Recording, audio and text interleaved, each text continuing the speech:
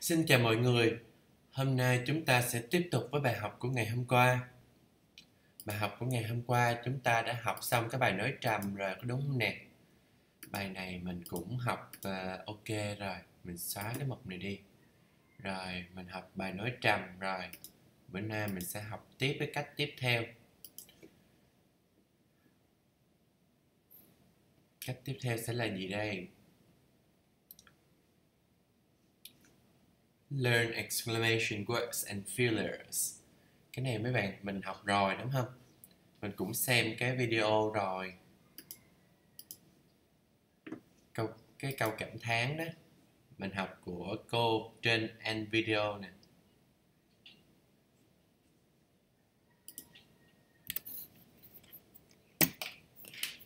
Rồi, Envid. Rồi, Ủa, rồi mình tiếp tục ha, cái này mình học rồi. Và một trong câu cảm thán này là cái mà hôm qua mình cùng tra với các bạn đó. À, uh, 100 small but expressive interjections là cái đường link này đây. Đó, là cái này.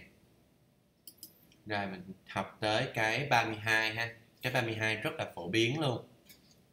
Learn how to paraphrase. Có nghĩa là học cách để mà mình uh, paraphrase là mình diễn đạt cái ý tương tự nhưng mà mình dùng cái từ của mình. Paraphrase có nghĩa là gì đây? Để tra cái nghĩa anh việt cho nó ngắn gọn ha. Paraphrase. Paraphrase có nghĩa là diễn giải lại. Diễn giải diễn giải. Mình diễn giải lại theo ngôn ngữ của mình paraphrase là diễn giải ha. Thông thường là mấy bạn làm reading, mấy bạn cũng gặp paraphrase, listening, cũng gặp writing là càng phải cố gắng paraphrase, speaking cũng vậy. Rồi phần learning là sao? Ví dụ như cái bài văn nó viết, cũng cái ý đó nó viết, nó dùng những chữ khác, nhưng mà xuống câu hỏi thì nó sẽ dùng những chữ khác để nó kiểm tra cái độ đọc hiểu của mình, coi mình đọc mình có hiểu không? Rồi listening cũng vậy là nó nói thì một kiểu khác, nhưng mà nó viết thì nó dùng những từ khác, nhưng mà cái ý nó vẫn là như vậy, đúng không? Nó cùng diễn đạt một cái ý, nhưng mà cái cách dùng từ nó sẽ khác đi một chút thôi. Rồi phần writing thì giống như cái đề người ta cho, bạn không thể nào mà bạn lấy nguyên cái đề mình chép xuống cái bài của mình được, mình phải paraphrase cái đề. Ví dụ như phần task one đi, là người ta nói là cái biểu đồ này nó thể hiện cái gì gì gì gì đó mình đâu thể nào mà mình lấy nguyên cái dòng đó mình bỏ xuống cái task one của mình. Nếu mình bỏ vô là mình bị bị bị không có được chấm điểm cái phần paraphrase á. Phần task 2 cũng vậy, cái đề người ta nêu ra, những cái từ mà người ta dùng trong đề thì mình cũng hạn chế sử dụng. Mình mình có thể dùng nhưng mà mình có thể, mình mình không có viết nguyên cái câu của người ta xuống, mình diễn đạt lại theo cái cái ý mà mình muốn nói, cái, những cái từ ngữ của riêng mình.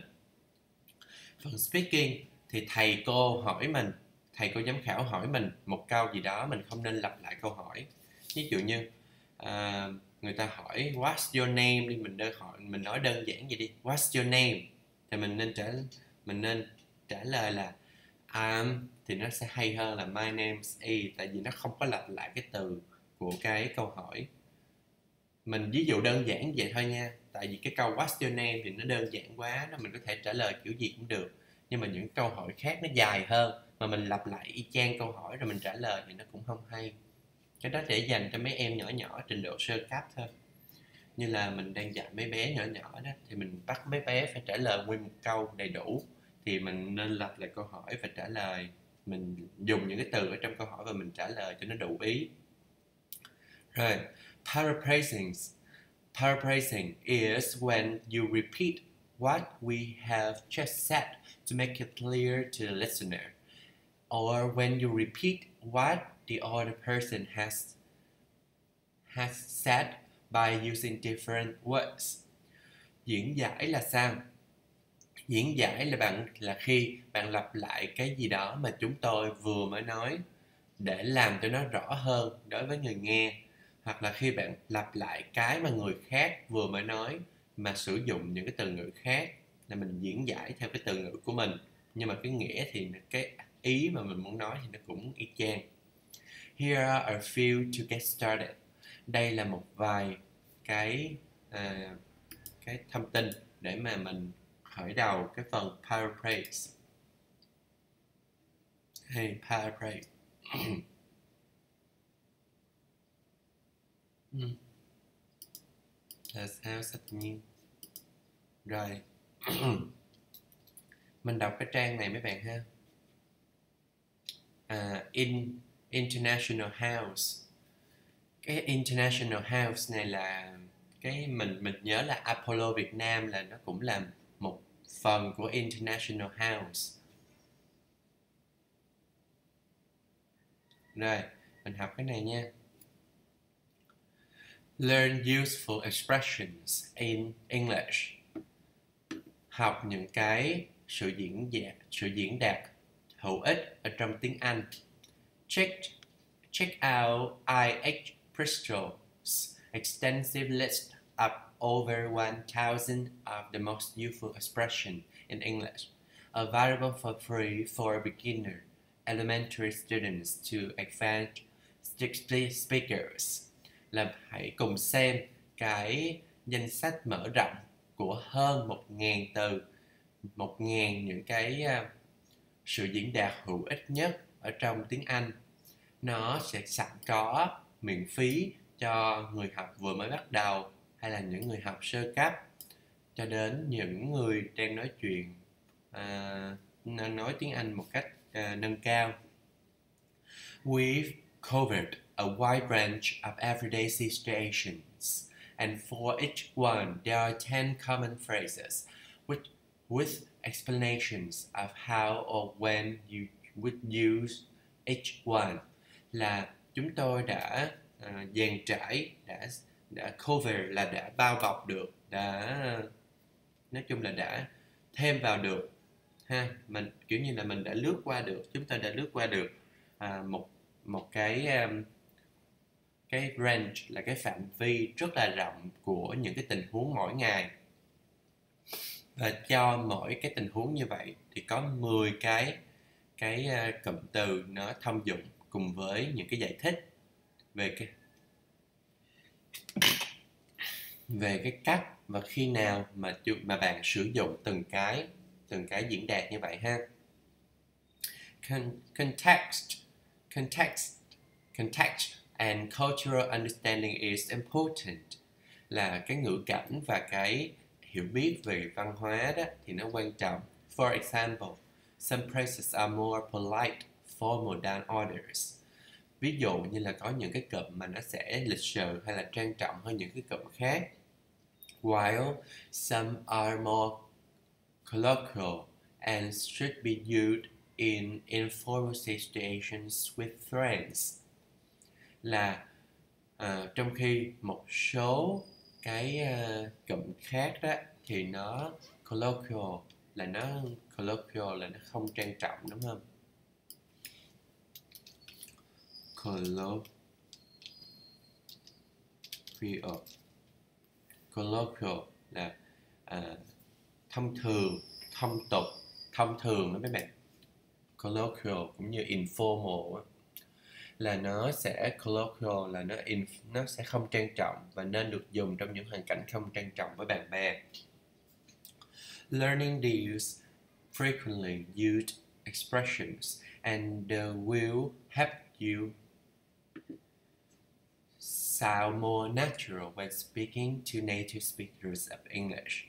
Là mình học những cái uh, sự diễn đạt được dùng thường xuyên này đó thì và and the will help you. The will. Mình bỏ cái chỗ này đi nha bạn. Bỏ cái chữ and và the này đi. Tại vì cái phần trước này là chủ ngữ nè. Thì bây giờ mình dịch mình dịch là học những cái uh, learning this frequently used expression will help you sound more natural when speaking to native speakers of English. Là mình học những cái uh, sự diễn đạt được dùng thường xuyên này. Nó sẽ giúp cho mình nó giúp cho bạn nghe tự nhiên hơn khi mà bạn nói chuyện với người bạn xứ và bằng tiếng Anh. Người bạn xứ nói tiếng Anh. Right. The more you use them the more you will improve.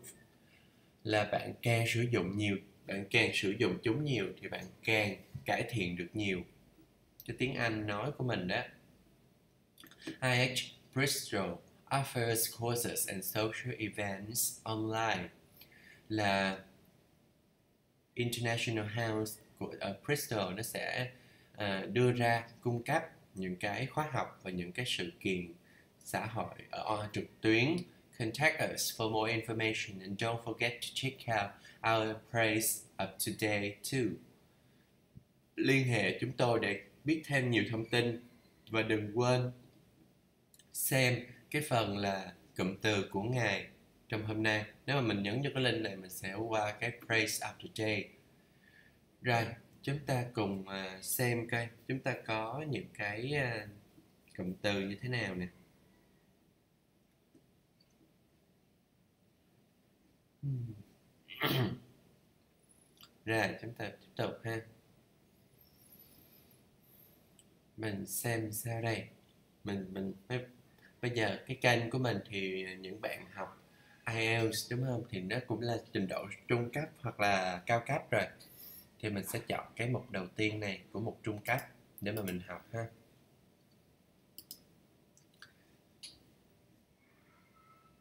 Đây, có 10 cái thông dụng cách sử dụng. Rồi mình dịch xong cái này đi ha. Còn những cái còn lại mấy bạn muốn tìm hiểu thêm thì mấy bạn sẽ tự tìm hiểu thêm ha. Tại vì nó rất là nhiều, rất là nhiều. Rồi, mình tắt cái này đi.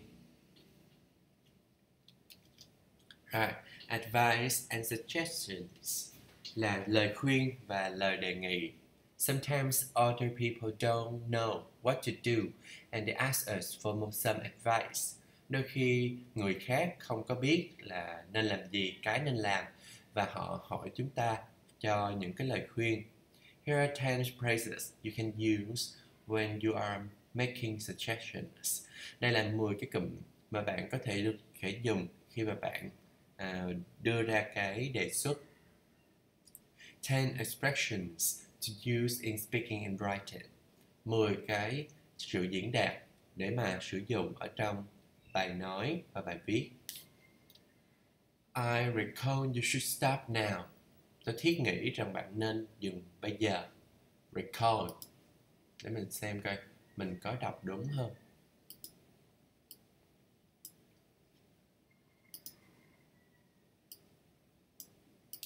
Mình nhớ recall là nghĩ suy nghĩ nó bằng với think. Reckon. Reckon. Nhé một như mấy bạn. Reckon reckon. Reckon. Rồi mình đọc một cái ví dụ nè các bạn nè. Suy nghĩ nè thấy không? Suy nghĩ về thứ gì đó hay là có ý kiến về thứ gì đó. Reckon. I reckon that I'm going to get that job. Tôi thiết nghĩ rằng tôi sắp uh, nhận cái việc đó rồi. I reckon you should stop now. Tôi thiết nghĩ rằng bạn nên dừng lại bây giờ để dừng lại liền đi. Why don't you stop now? Tại sao bạn không dừng lại bây giờ? What how about stopping now? À, còn dừng lại bây giờ còn dừng lại liền thì sao? If I were you I'd stop now. Nếu mà tôi là bạn thì tôi đã dừng lại liền á. Là cái này nó dùng câu điều kiện loại 2 này mấy bạn. Ở phía trước là quá khứ ở phía sau là would cộng với verb nguyên mẫu. I suggest you stop now. Tôi đề tôi đề nghị bạn dừng lại ngay. I'd really better stop right now. Tốt hơn thì tôi nên dừng lại ngay. You'd, không, bạn tốt hơn nên dừng lại ngay. You'd better you'd better. Cái này là had better hay là would better ta? Mình nghĩ nó là had better.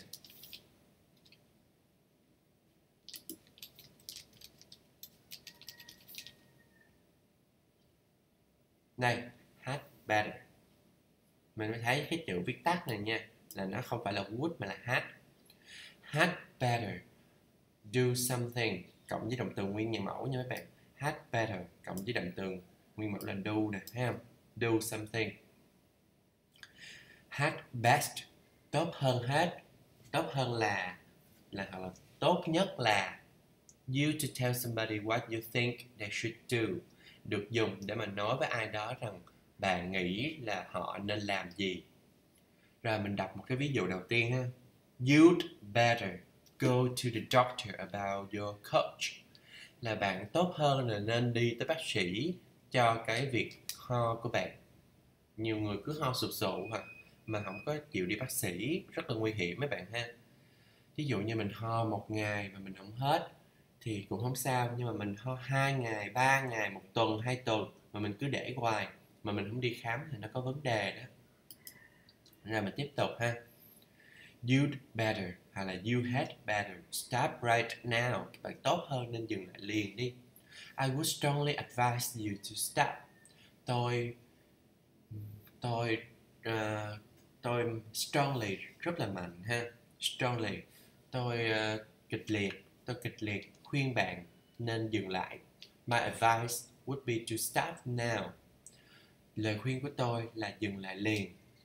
It might be a good idea to stop. Là đó là ý hay để mà dừng lại. You might try stopping. Bạn có lẽ nên thử dừng lại đi. How to use these phrases in your English. Là cách nào để sử dụng những cái cụm từ này ở trong tiếng Anh của bạn?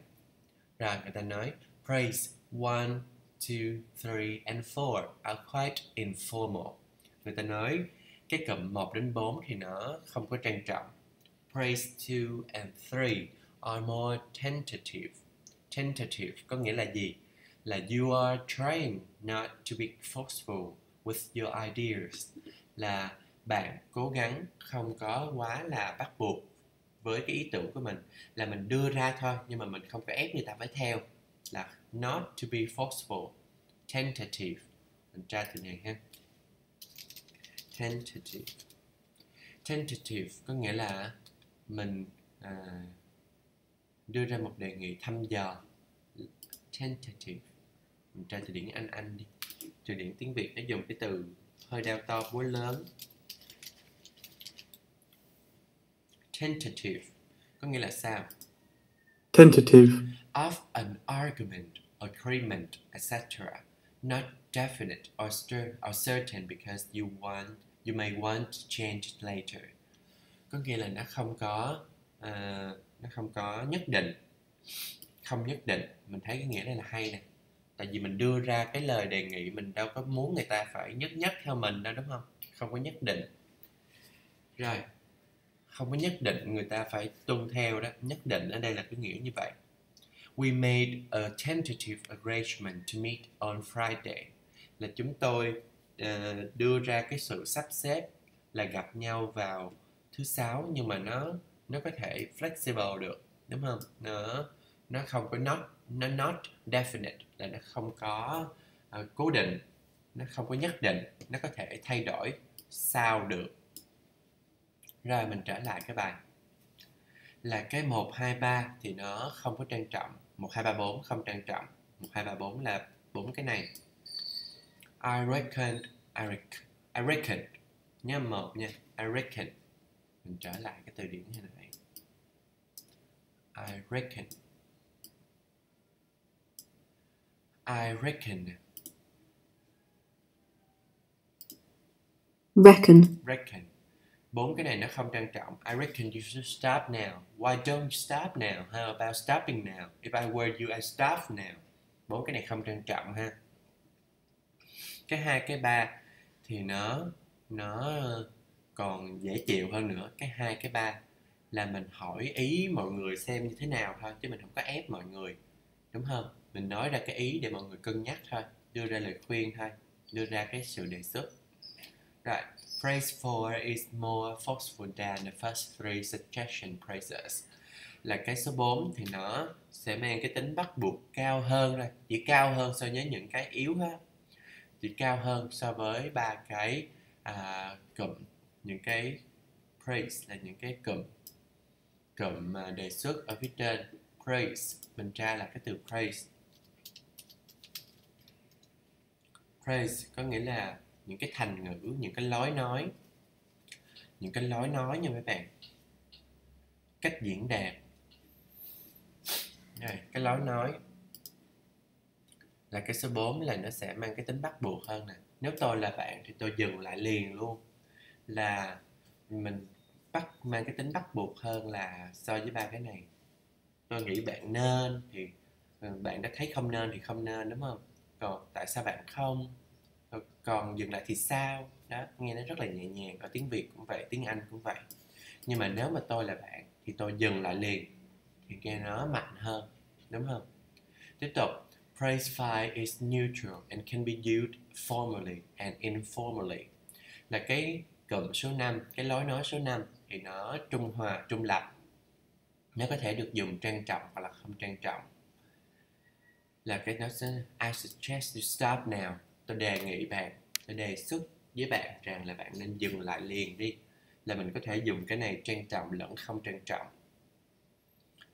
Rồi, use, using more stress, using more stress on guest or suggest.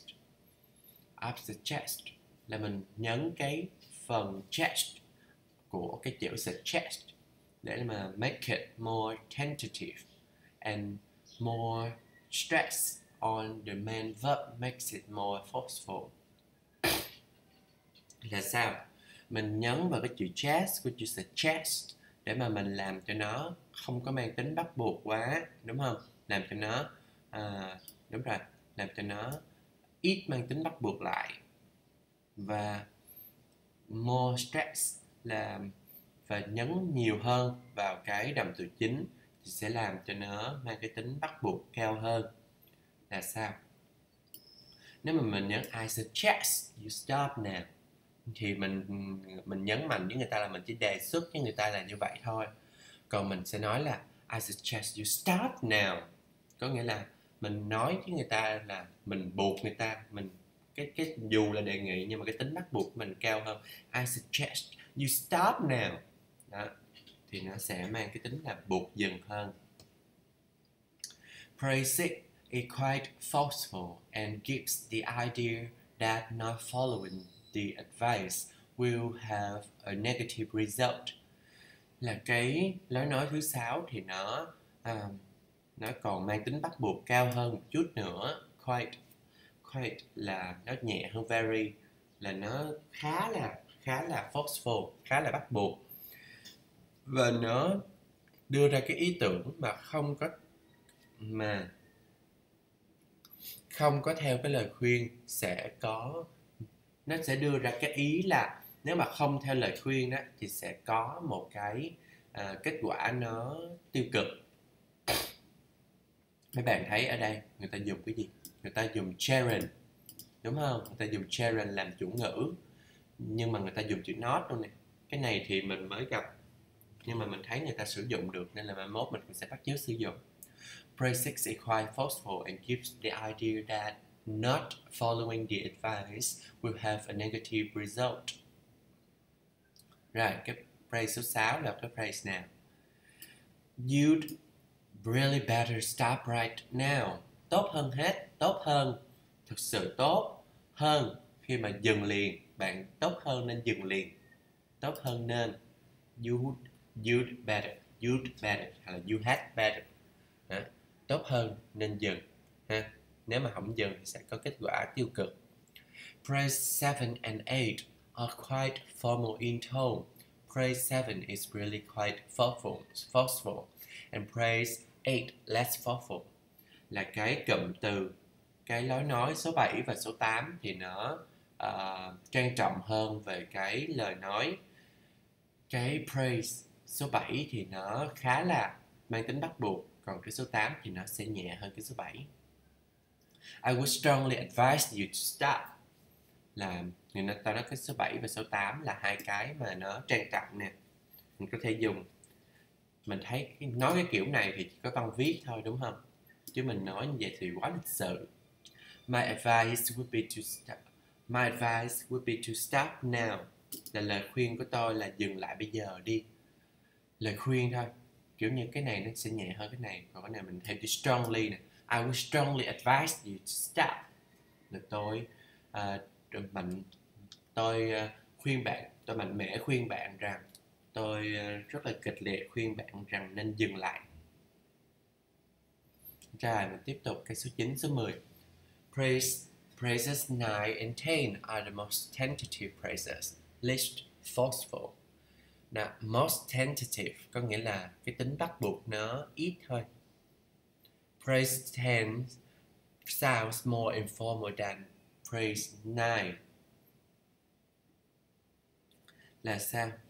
Cái cụm mà cái lối nói số 9 số 10 thì nó là những cái praise những cái lối nói mà nó ít à, bắt buộc nhất. Cái praise số 10 thì nó trang trọng hơn là cái praise số 9 cái praise số 10 là vừa ngắn và vừa trang trọng hơn ha. You may try stopping. Bạn nên thử dừng lại. Mình thấy cái này nói rất là hay, ngắn gọn, hay. Mà trang trọng cũng dùng được luôn, đúng không? Không không, người ta không có nói về à cái số 10 là nó không có trang trọng bằng cái số 9 vậy là cái này nó không có trang trọng. It might be a good idea to stop. Nó có lẽ là một ý hay để mà dừng lại hai cái này thì nó ít cái mức độ bắt buộc. Cái 10 này thậm chí còn ít hơn cái số 9 nữa. Và cái số 10 này thì nó không trang trọng bằng cái số 9 rồi, vậy là mình đã học xong cái phần này. Học xong số 32 learn how to paraphrase. Đó paraphrase là sao? Cùng một ý là đưa ra lời khuyên cho người khác, nhưng mà mình có rất là nhiều cách nói. Thì tại sao mình phải nói giống người khác? Đúng không? Mình paraphrase lại để mình nói cái ý của mình. Đúng không? Tiếng anh mà, ngôn ngữ mà, mình có thể diễn đạt theo bất kỳ ý nào mà mình muốn. Nhưng mà mình diễn đạt được cái ý mà mình muốn nói là ok. Rồi, mình đã đọc tới cái số 33 rồi. Cái số 33 mình đọc xong. Mình cũng ráng cho nó xong cái bài này trong hôm nay luôn ha. Số 33 là gì đây? Use contractions more. Contractions à, mình đọc coi contraction là gì ha? Contractions make your speech more efficient because they save time and energy. Say should not and then say you shouldn't which is easier to say. À contractions là sự gọt từ đúng không bạn. Mình contract nó là mình mình uh, mình viết tắt nó là ví dụ như shouldn't là cái contraction của cái should not đúng không? Thì mình nên mình nên nói tắt. Lúc mình viết á, thì mình, mình mình nên viết rõ ràng ra từng chữ một. Tại vì mình đi thi mà người ta đếm chữ của mình là một với lại người ta cũng không có viết mà viết trang trọng thì cũng không nên viết tắt. Nhưng mà mình nói thì mình nên nói tắt. Như vậy nó sẽ nghe tự nhiên hơn nhanh hơn tiết kiệm thời gian và công sức hơn. Cũng như là nó làm cho cái cái ờ, sự diễn đạt của mình nó hiệu quả hơn rồi người ta hỏi mình là mình nói should not chứ mình nói shouldn't thì cái nào nó sẽ dễ hơn để nói? Tất nhiên là shouldn't đúng không? Rồi mình đọc cái link này. Very common influent speech là những cái à, sự diễn đạt những cái à, bài nói à, trôi chảy. Những cái này nó rất là thông dụng cho cái việc nói trôi chảy. Mình có một cái video youtube à. Cái video này nó không có còn nữa. Rồi, coi như là mình học xong cái ba luôn, tại vì cái link này nó không còn. Now, here's your call to action. Bây giờ là lời kêu gọi bạn phải hành động. Call to action. Call to action. Chứ không phải là call to act nha mấy bạn. Call to action là những cái lời kêu gọi hành động đó. Lời kêu gọi hành động cái call này cũng là danh từ cái action này cũng là danh từ nha. À, here in the next 30 days spend 20 minutes every day on one of the tips. I'm sure you notice a huge improvement. Người ta kêu sao đây? Vào 33 ngày tới mỗi ngày dành ra 15 phút để mà cho từng cái tiếp vậy là chúng ta sẽ có 33 ngày tới để mà mình mình à, mình là mình thực hiện cái tips này ha. Mỗi ngày là một tip 15 phút. Rồi mình nghĩ là nên làm tại vì sau khi mà mình đọc 33 cái này mấy bạn còn nhớ cái số 1 là cái gì không? Mình là thật sự là mình không nhớ đó. Nói chung là học cái gì cũng vậy nó phải có cái quá trình review cái quá trình mình ứng dụng nó thì mình mới nhớ được. Nên là người ta kêu mình ha 33 ngày tới mỗi ngày dành ra một 15 phút cho mỗi cái tip như vậy. I'm sure you notice a huge improvement tôi chắc rằng bạn sẽ nhận ra một một cái sự thay, một cái sự cải thiện rất là lớn and maybe one day you'll speak English like Messi plays football và một ngày nào đó bạn sẽ nói tiếng Anh như là Messi đá bóng vậy Right. Thanks for reading the post. Cảm ơn vì đã đọc cái bài đăng này. Would you like to learn how to speak polite English? Là người ta giới thiệu cho mình những cái khóa học mới nè. Khóa học này là tiếng Anh lịch sử nè. Cái khóa học này là nhờ cái khóa học uh, uh, thành ngữ tiếng Anh ở trong kinh doanh. Mấy cái này mình không biết là có chặt phí hay gì không ha. Mình không biết nhưng mà nếu mấy bạn muốn tìm hiểu thì đường link thì có sẵn rồi đúng không mình cũng đã share cái này nhiều lần rồi mình nghĩ là cái bài học của tụi mình hồi nãy giờ nó được 30 phút rồi mình nghĩ ở đây để mà bữa sau mình review thêm, mình học thêm, ha. Dù gì mình cũng đã xong 33 cách rồi, những ngày tiếp theo mình sẽ dành 15 phút để mà mình ôn lại từng cách, ứng dụng từng cách và mình học tiếp những bài học mà mình còn gian dở ở trên Future Learn, Understanding IELTS hôm nay cái bài này nó đã đưa mình đi quá xa rồi 33 cách này nó đã đưa mình đi quá xa khỏi cái bài của mình, ha. Rồi, chào tạm biệt và hẹn gặp lại các bạn vào ngày mai.